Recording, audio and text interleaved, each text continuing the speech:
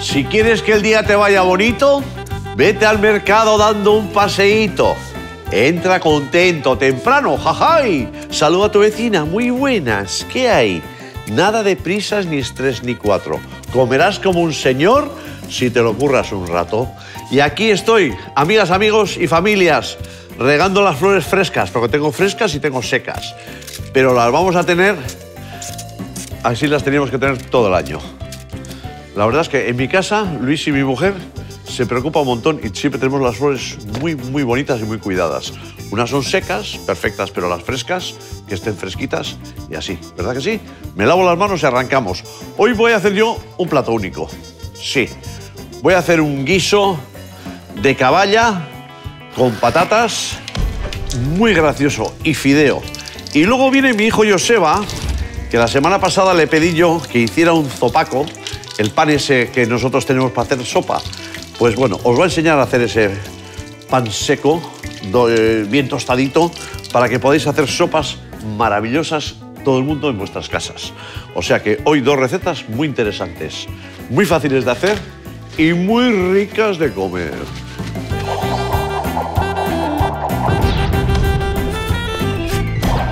Aquí tengo los ingredientes para hacer este guiso.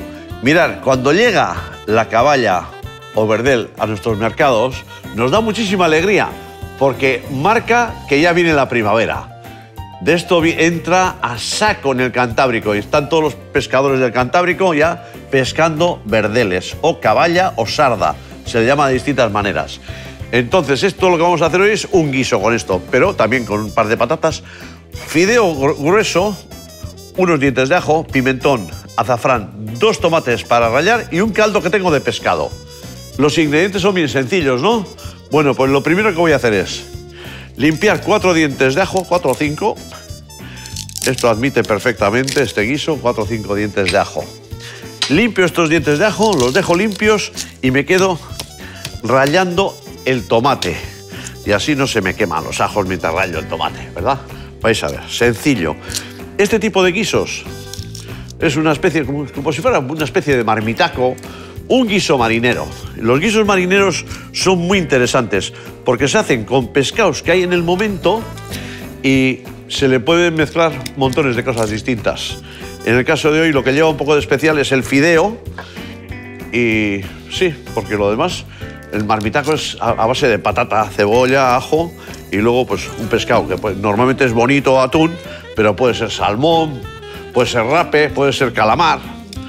Hoy verdeles o caballas, que por cierto, cuando aquí una cosa es lo que pesquen los barcos, no los profesionales, pero los que vamos aficionados a pescar eh, verdeles es una maravilla. ¿Sabéis por qué? Porque tira, tira, que da para el pescador es un gustazo, es un gustazo de cómo tira el verdel. Y se, pone, se pesca con chicharreras. Chicharreras se llaman a unas tiras a las que se les pone cuatro o cinco anzuelos, cuatro o cinco, cada dos palmos así un anzuelo, y en el anzuelo, en lugar de ponerle cebo, en lugar de poner comida, se le ponen unos trocitos de lana, lana roja, verde, amarilla, la que quieras. Y como debe haber millones, pues cuando tiras, ¡tra! enseguida ahí y salen sin comida, le pican con fundamento. Es un gustazo. Y si estás pescando a caña, de tierra, estás pescando de tierra a caña normal y de pronto te pica un verdel y pasas un ratito con los tirones que te pega de emoción, de emoción.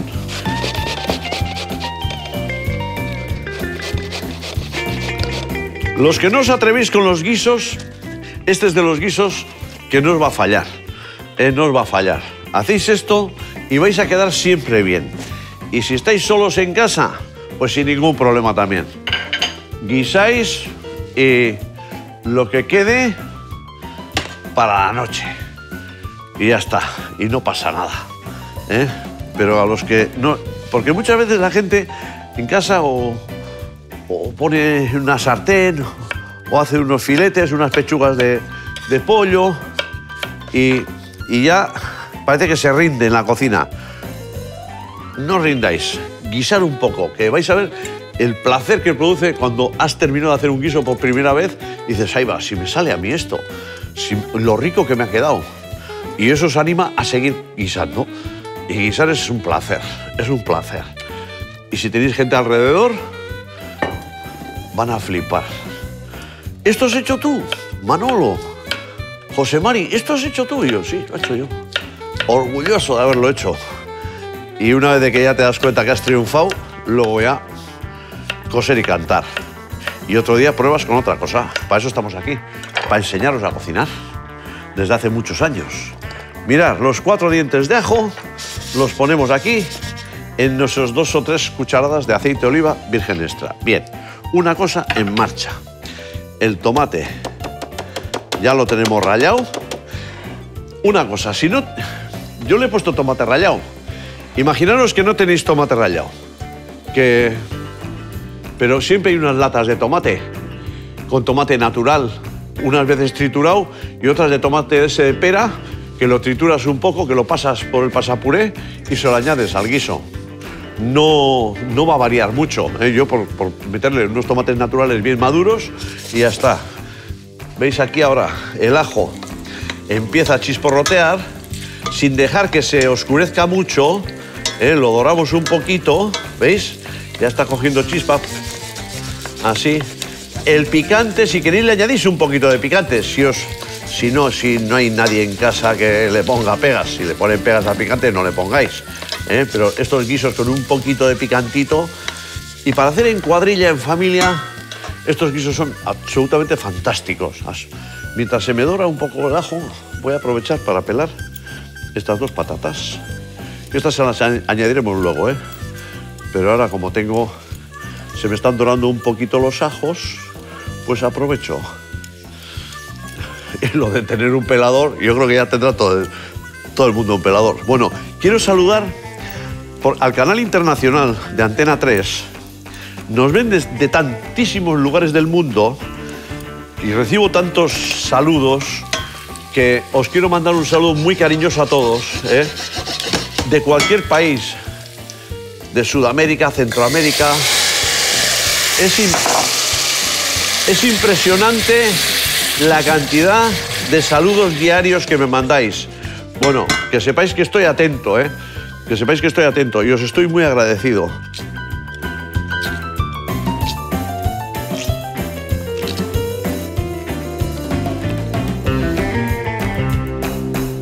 Le añado ahora al tomate este que se ha cocinado aquí con los ajos una cucharada de pimentón. Así. Un poquito. Le añado un poquito de azafrán. Adentro. Le añado las patatas que hemos pelado y hemos troceado. Dentro. Le cubro con el caldo de pescado. Si no tenéis caldo de pescado, con un caldo de verdura también va. Y en lugar de añadirle fideo, imaginaros que se os ocurre que le vais a añadir, en lugar de fideo, dos puñados de arroz. A la vez que añadir las patatas, dos puñados de arroz. Y se va a hacer todo a la vez. Se va a hacer todo a la vez. ¿eh? Entonces yo aquí ahora solo tengo que añadirle una pizca de sal. Una pizca de sal. Lo dejo cocinarse unos 10 minutos a fuego suave y luego le añado los fideos y otros 10-12 minutos.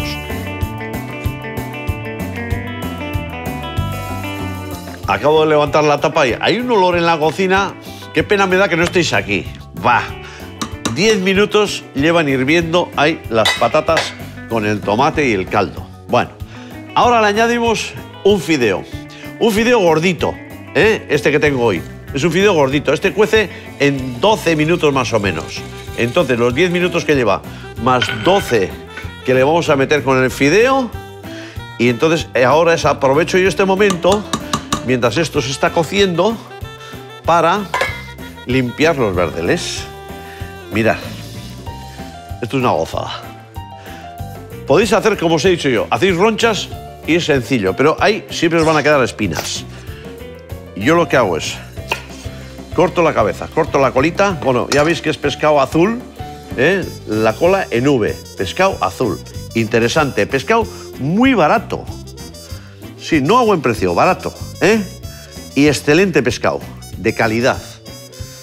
Un pescado de calidad. Sacamos los lomos así, a ras de la espina. Ahí.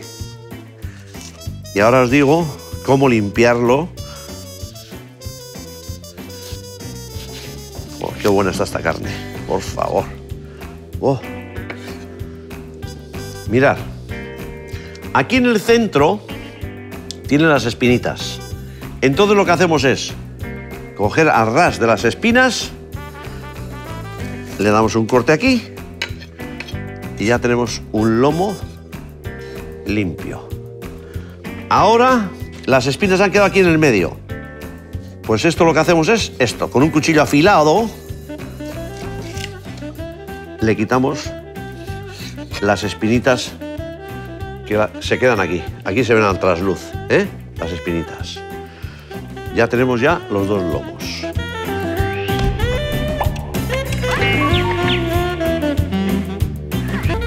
Bueno, ya ha hervido otros 10 minutos. Entonces ahora troceamos los lomos. Le ponemos una pizquita de sal y los introducimos dentro. Mirad. Y ahora parará el hervor cuando le añadimos todo el pescado, pero en cuanto empiece a hervir otra vez, ya lo tenemos hecho. Es así de sencillo, ¿eh?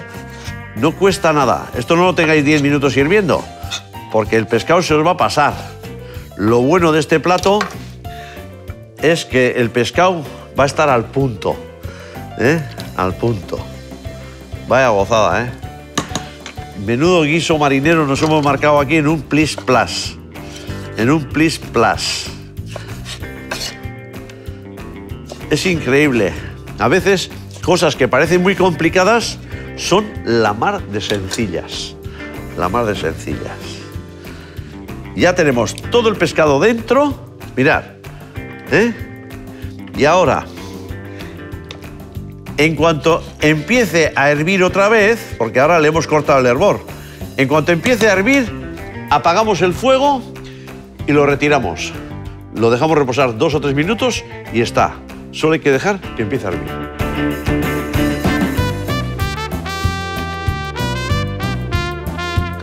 En cuanto ha empezado a hervir, le he puesto la tapa, lo he tenido dos minutos ahí. Esto está perfecto.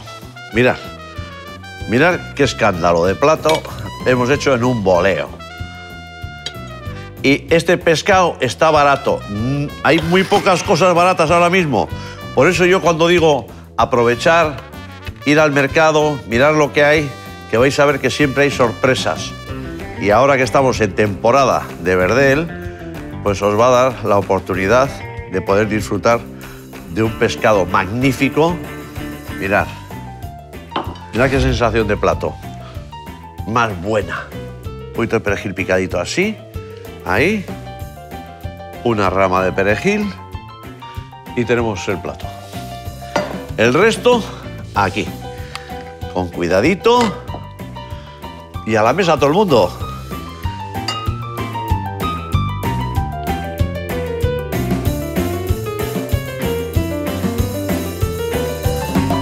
La rama de perejil aquí. Y lo tengo. Y aquí, como ha sobrado un poquito, mira lo que hace el cocinero, ¿eh? Ay, este caldito argueñano, ¿qué te parece? Ese caldito para mí. Porque ahora me llevo esto a la mesa y todo el mundo ataca. Igual me quedo sin nada. Cuidado. Aquí las raciones y aquí la ración. Perfecto. Bueno, Ahora viene Joseba y va a hacer el zopaco. Estaros atentos porque es un pan muy interesante, sobre todo para hacer sopas. Pero os va a dar una pista que os va a gustar. Muy buenas, Joseba. Muy buenas, Aita, y muy buenas a todos. Aquí vengo con lo prometido, que lo prometido es deuda. Te dije lo del sopaco, ¿eh? Eso es. Y aquí vengo con el pan sopaco, que ya veis que es una masa blanca vamos a hacer, porque no nos interesa que luego sopaco es un pan que se usa para las sopas, para espesar salsas, y no queremos que nos aporten solamente la harina para que nos espese y luego que nos aporte también el torrefacto que le vamos a dar en el horno para que nos dé color y sabor, pero que no nos aporte ni masa madre, ni harinas eh, con muchos sabores, una harina blanca, neutra, Harina- para que nos valga para todas neutra, las salsas. La levadura, la sal y el agua. Y el agua. Y Vale. esto lo que voy a hacer es, como siempre, una autólisis, mezclar todo, dejarlo que haga autólisis y luego ya amasar, formar como unas barras, vamos a formar y luego lo que vamos a hacer es un corte y ya darle la forma del sopaco o pistola también O pan- que se llama. pan de pistola Pan también de se le pistola, llama. sí. Y es un pan que bueno, la gente también lo usa para desayunar con la leche, también los abuelos antes siempre comían Sí. el cuscurro, es como un pan que todo es un cuscurro. Sí, que es como tostado, tostado, Sí. tostado. Ah, tirando a negro a veces, ¿eh? Sí, porque Porque luego le da mucho color eso a las Eso es, sopas, a la las sopa sopas de pes- pescado, sobre todo. a la sopa de ajo, también a un marmitaco le puedes echar para espesar. También. Sí. Y yo me acuerdo, nuestro amigo José Mari Tempranillo. del Tempranillo, el difunto, con las alubias que sobraban al mediodía, a la noche las ponía más caldosas y le añadía, le añadía más sopa. Bueno, ya veis, aquí mezclar y ya a reposar. Y aquí ya tengo el otro ¿Cuánto tiene que reposar, más o menos? Media horita. Media. horita suficiente. Y ahora lo que vamos a hacer es aprovechar este plástico para ponerle al otro. Esto lo Vale. haremos luego. Eso ya te lo retiro yo. Y esto, nada, a la mesa ahora. Y ya veis que esto estaba sin la autólisis que está dura. Y esta ya, después de estar un buen tiempo aquí, media horita, ya tiene una elasticidad perfecta para ponernos a amasar. Y así ya en cinco minutos, incluso en tres, cuatro minutos, lo tenemos preparado. Ya veis, aquí. ¿Necesitas algo de harina? Bueno, ya veis que está bastante bien. Es una masa que tiene poca agua, entonces yo creo que, que me amoldaré así. Ver ya cogiendo su forma, ya ves que enseguida coge ya textura buena.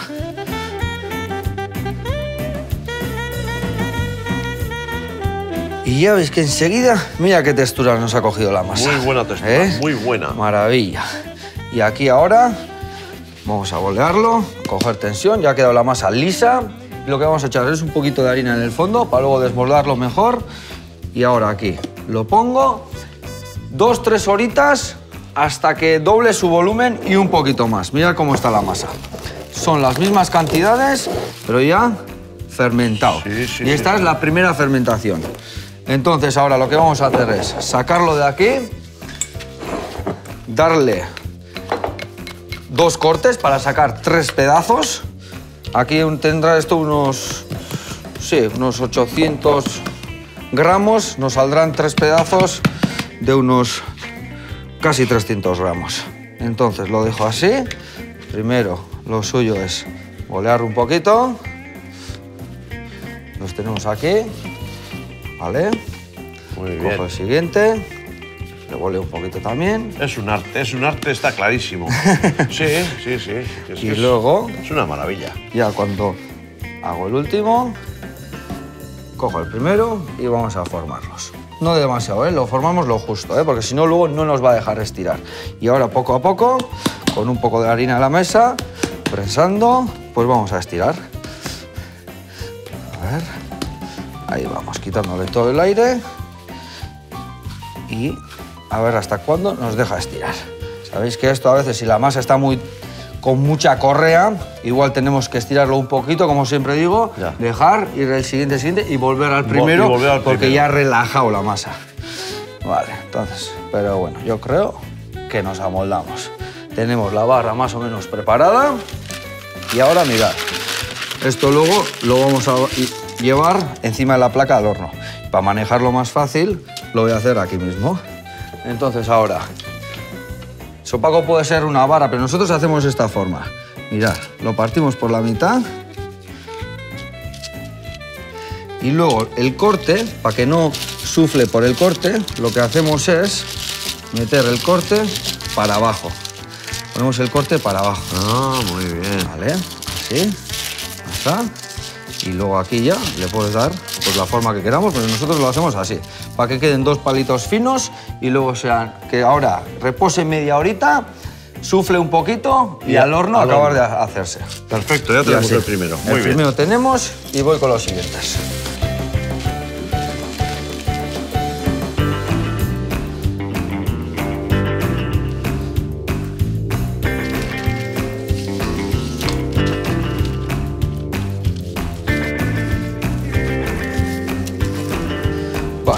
Hemos rematado el tercero. Muy bien.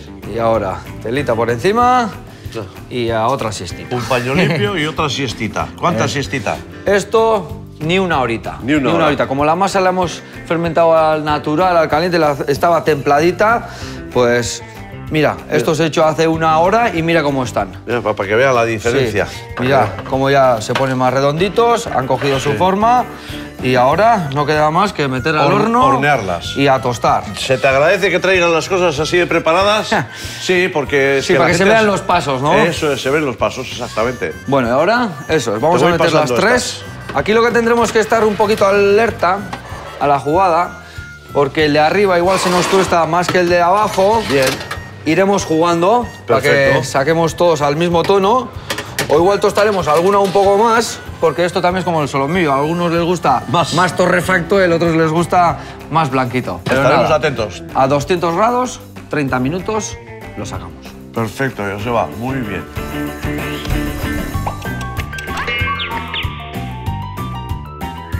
Ya los tienes. Ya los tenemos aquí, Bueno, bien sequitos Sí, quedan. y esto yo, ah, para que la gente sepa, esto una vez hecho 10, 15 días. Sí, tranquilamente. Como, como está seco, como Y no- antes se solían tener en la cocina al lado del fuego bajo Sí. en el sitio y te duran tranquilamente bien de tiempo. Bien de tiempo, eso es porque es, hombre, cogen humedad y no interesa porque tiene que estar seco para que nos espese la salsa. Ya. Pero bueno, eso al final, unos cuantos días, 10 días sin ningún problema. Mira, los voy a romper para ver cómo se ha quedado.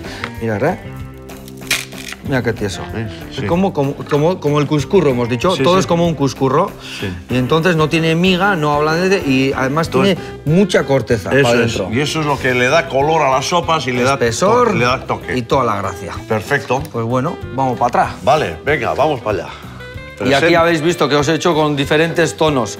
A veces a la Ita le gusta más así. Sí, a mí me que gusta la más. un poquito. A mí me ahí, gusta ¿eh? más negrito. Sí, sí. A mí me gusta más negrito, sí. Pero Esa es hacemos de todo porque la gente también pide menos tostado y hay que hacer para Muy bien. Joseba. Te esperamos aquí en 15 días y igual, igual nos podrías hacer un, un bollo suizo. Perfecto. Bollo 15 días, suizo. bollo sí. suizo, sí. Relleno de mantequilla, como los de Bilbao. Vale, venga. Perfecto. Como los de Bilbao, joder, como los de Bilbao. Bien, bien, bien.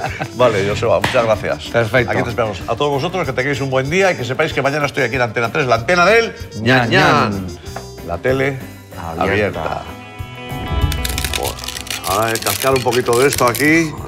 ¡Guau! ¡Qué metemos- momentazo, eh! Le metemos el crujientito. Sí, sí, sí, un poquito crujentitos. Venga, va. Inmejorable esto, ¿eh? Bueno, insuperable. Muy bueno, muy bueno esto. Y ahora sí, cuatro sopitas. Ahí, y para adentro. Bueno, salud, compañero. Ole. Es que ricasco. Qué bueno.